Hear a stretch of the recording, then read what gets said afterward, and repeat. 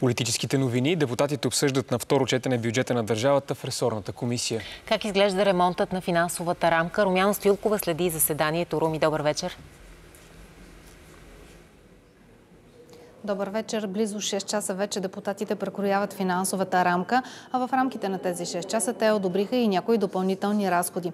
30 милиона, например, ще бъдат насочени към спешната медицинска помощ. 157 милиона ще отидат за възнаграждения в МВР и ДАНС. 75 милиона лева за заплати на военнослужащите. 25 милиона лева за НАП и митниците. По традиция бюджета винаги е съпъстван с остри спорове. Вижте около какво бяха концентрирани днес. Остри спорове в комисията предизвика по-ниската ставка от 9 на 100 ДДС за определени бизнеси. Има такъв народ поискаха тя да отпадне, защото е въведена заради COVID-пандемията, която отдавна отмина. Така в бюджета ще останат 152 милиона лева, с които да се финансират други разходи. Това е бизнес, който е свързан с... Той предлага екстра. Всеки един, който отива, примерно, в ресторант, отива за екстра. Ако трябва да стимулираме нещо, то не е пирата и виното и другите напитки, а е да стимулираме нашите деца. Нашата нагласа е тези ставки да си останат времени и да бъдат прекратени като изтекат.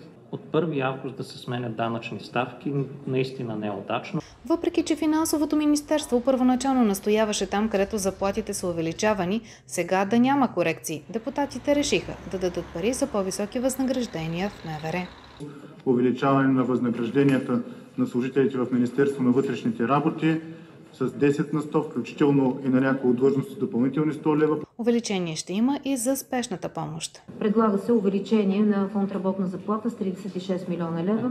Повече пари депутатите одобриха и за служителите в агенциите по храните и горите, за надзирателите в затворите и главна дирекция охрана.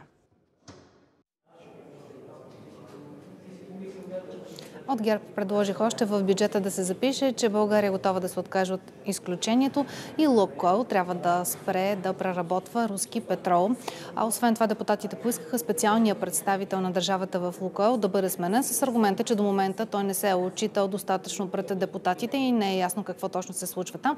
Финансовият министр от своя страна посочи, че ако този човек бъде сменен, трябва да имам изключително прозрачни критерии, по които това да се случи. Продължаваме да следим заседанието на комисията. Румяна Стоилкова на живо от Народното събрание. Благодаря.